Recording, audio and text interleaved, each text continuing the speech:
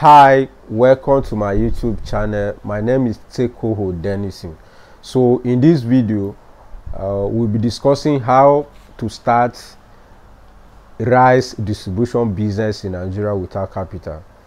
I'm going to share with you my story of how I was able to start a small scale rice business without a rice factory, without a rice farm, and how I am able to grow to a stage of owning one of the biggest rice processing factory in my state, Benue State, Makurdi to be precise.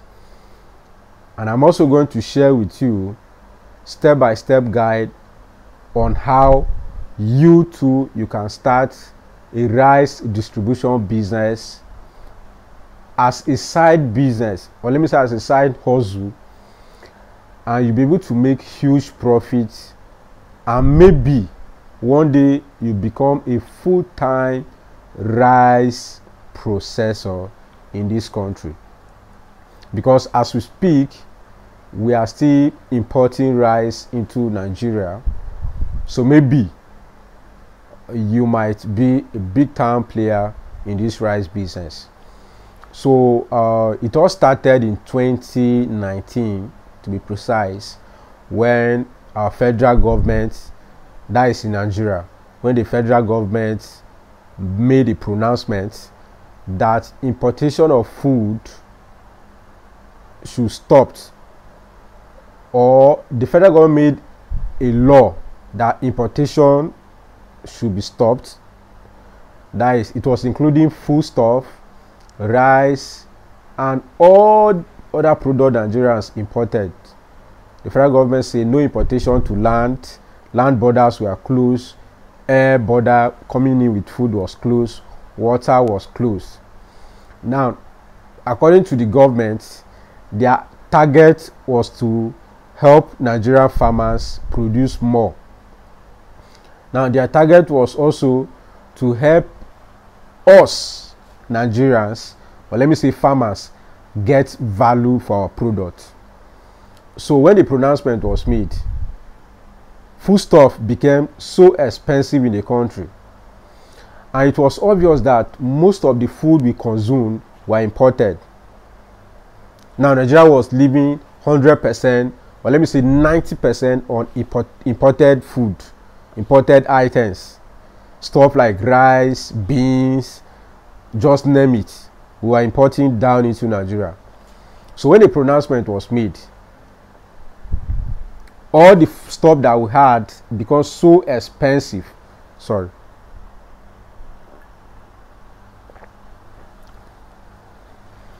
All the food that we had become so expensive to an extent that a bag of rice or let me say consuming rice in nigeria was like raw uh, uh, uh, not too clear. When you are eating rice people will be like ah you are still consuming rice in this country at this age.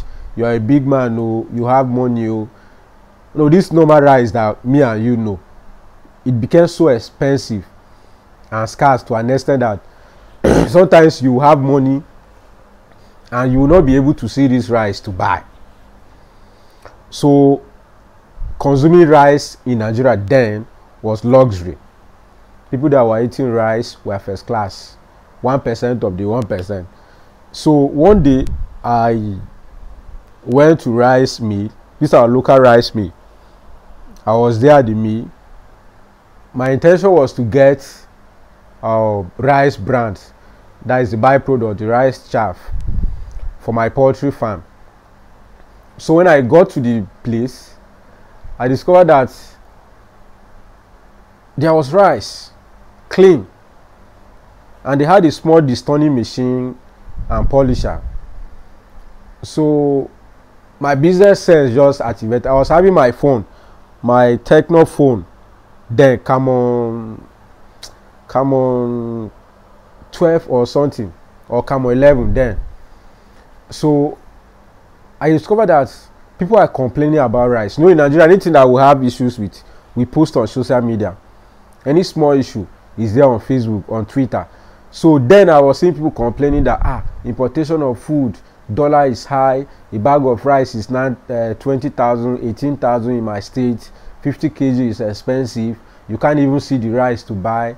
And i was like okay so when i got to the mill and i discovered that this same rice i'm seeing twitter people and facebook friends complaining that it's expensive that is even scarce they can't even find it to buy it's here in makurdi benue state in our rice mill. So i say good. I think this is something i can do. You know there i was into trading honey. So i got the experience of starting without capital.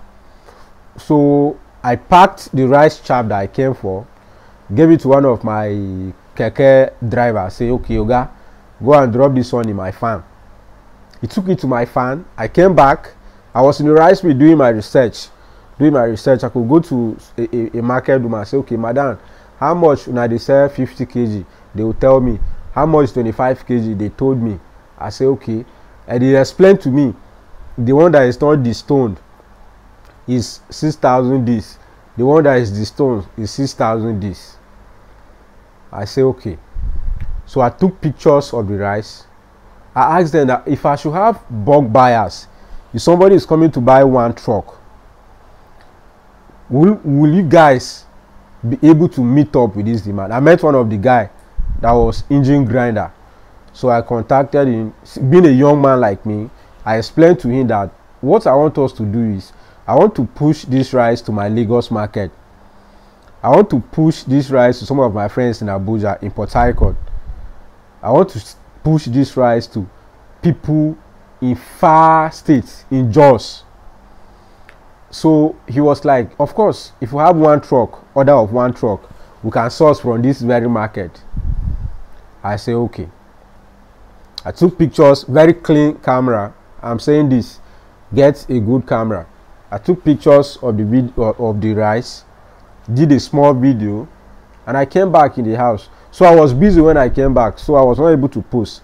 But around four so, sorry seven in the evening i made a post on facebook that if you need stone free rice in nigeria i have benue rice for you.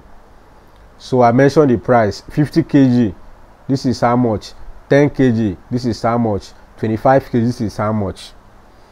So when i made the post within 20 minutes i saw comments more than 200 comments. I was shocked. That was how the business started so people were like okay can you supply to me in lagos? I need one bag in aba. Okay i'm in in owerri. Can i get two bags? Okay i'm in lagos. I need one bag to test. My cooperative want to buy. And i'm in this place. I need two bags. And in abuja give me three bags. So people were like call me call me call me others were coming. So what i did was went to their inbox send them the price list cost of trans transferring or let me say delivery to them. So when they did that calculation they also discovered that ah even if i should buy this rice from denko farms in benue state and the weight bill is two thousand i will still get the rice in lagos and the price is way cheaper than the one we are buying in lagos already. So most of my clients after doing their give or take calculation they come back to me. In a day the profit that is that night around seven to eight i made a profit of over twenty-four thousand naira. That is i made a profit of twenty-four thousand naira on rice without selling. I have not even sold anything. I have not gotten to the my my people in rice fact in rice mill to package their rice and start selling. I was just in my house with facebook that you also have in your phone with instagram that you already have in your phone. I just press made a post on this very facebook that you have. And i was able to get bulk buyers. So the first set of people that came i think around ten or or five or six persons like that that paid money i supplied to them. They cooked the rice and they discovered that yeah it's stone free. And it's good after cooking. And it doesn't turn watery that was how the business started. Others started coming in. So i was just i was just telling okay okay man how was the rice? Was it fine? My chat with them i will screenshot. Because when i say the rice is stone free due to your experience or let me say the belief that we have on nigerian rice not being clean people were not too sure or confident or my brand of rice was not trustworthy. So nobody was interested in buying the rice per se but when i got the reviews and i post our chat by inbox and i post on facebook people were like okay somebody bought in lagos and the person says it's stone free and the rice is good. Okay let me order. And that was how the rice business started. People started sharing the post. People started sharing my comments my testimony testimony from my customers. People start sharing them. And once they share i will see more than 50 messages people making inquiries okay i want to start. How much do i need? Okay can you supply one bag? Then it was getting towards uh, november december season which is one of the most busiest season in nigeria. But let me say even the world people that celebrate christmas and new year. So i was able to push this brand out because it was tour season. So one day somebody I, I, I made a post one of my co-founder made a post and someone shared the post. And in that post we post that okay we have uh, Benue rice selling at so so and so amount. And the person made the so one of one of the influencers shared her post. And in that post we got a d of 1.5 million. The woman was like i need 300 bag of rice weekly but i'll be starting with people on 100 bags. Supply to me. Shey you say it's stone free and it's long grain? Supply to me. So that once we test we'll be buying more. So that was how we started. We shared the the the we got to work. The 1.5 million was paid into our accounts.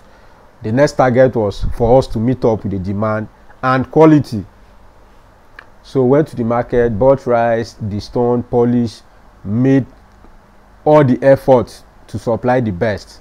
And that was how the business started. 1.5 million without a rice factory without a rice farm and as even starters in the business. And i want to guarantee you that some persons were there with those machines so oh, and they are we are looking for customers. But you and i have access to facebook facebook is one of the most greatest thing to happen to our generation. If you have your facebook and you're still looking for shop you're still looking for capital to start your business there's something wrong with your level of exposure you have.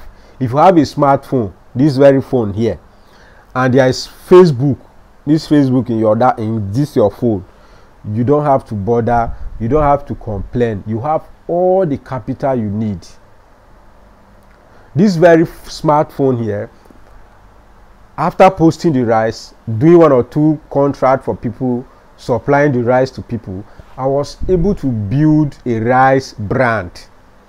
I was able to build get funds from investors to build a rice factory. Now a lot of people will just want to kickstart with building the rice factory. But the fact is you need to understand the a to z of your business before you be successful in it. If you want to start like one of the richest man in africa and in nigeria to be to, to be specific alhaji aliko dangote when he started he said he started trading cement. This cement that we know we all read the story now that he the, the uncle borrowed in six hundred thousand. So what he did was bought cement into nigeria started trading cement. So when he understood the business of cement how how many customers are willing to buy cement? What is the packaging? And what is the cost involved? Then he was able to get phones and then set up a cement production factory. And now there's nothing you tell him about cement that he doesn't know. He can collect ten billion dollars from you and set up a cement factory and run it successfully. Now you as a starter you shouldn't be looking at starting your rice factory because there are certain things that you, need to know. So you can start by trading cocoa mama rice which is product of denko farms limited. You can buy two bags three bags five and then sell it to people and see what do customers need. Are they more are they willing to buy long grain at higher price or they prefer short grain or they prefer the mix mixture of both the short and the long grain. So when you understand this aspect very well you can get then go and build a rice factory. Recently someone met me and was telling me that there's a rice factory of 2.1 billion for sales in abuja. I was shocked. When somebody will have such an asset and will be begging people to come and buy. Of course maybe the person need money or one or two things that come up. But what i'm saying is if you don't understand the business even if you pick a loan because some of you watching this video will have access to loan even if you pick a loan and you set up your farm or your factory you might not understand the business. Either the people that are coming to work for you will eat the business down or you also eat your business down and it will sink. So starting a rice distribution business you don't need a factory. You don't need any machine. You just need contacts of people that are producing quality rice quality packaging not anyhow rice. So once you get their contact you can start promoting this rice. I'm making this video in august and we're heading towards november december season. So this season i'm urging you to come and start rice distribution business. You can start by distributing denko farms rice cocoa mama rice. You can start by distributing any brand of rice at all. And if you want to start you don't have to start looking at what nafdac will do forget about nafdac and make money first. Before nafdac will notice that you're selling rice that doesn't have their number by then it means you have made plenty money. Your publicity is wide before they will come to you. Because if you always look at what if when we started we didn't have nafdac number.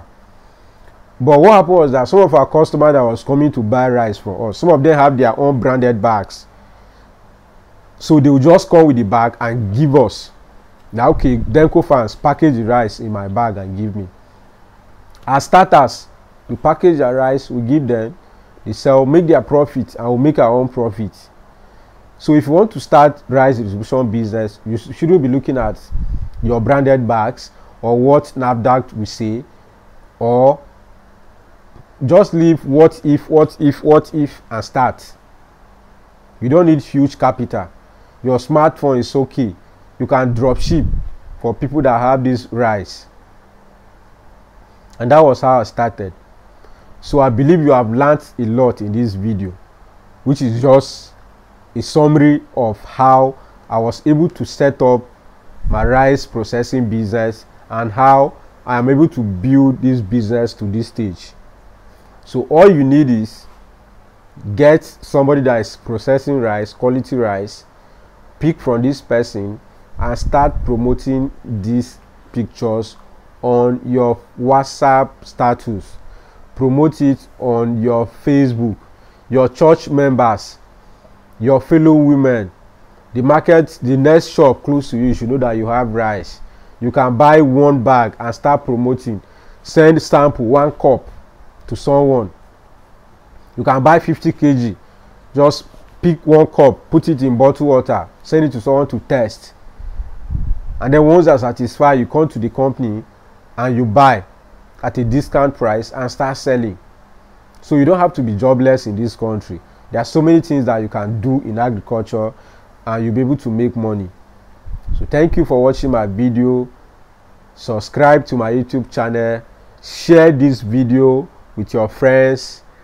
And don't forget to subscribe and hit the bell icon because more of these videos will be coming your way i remain denison sekoho your billionaire farmer. Thank you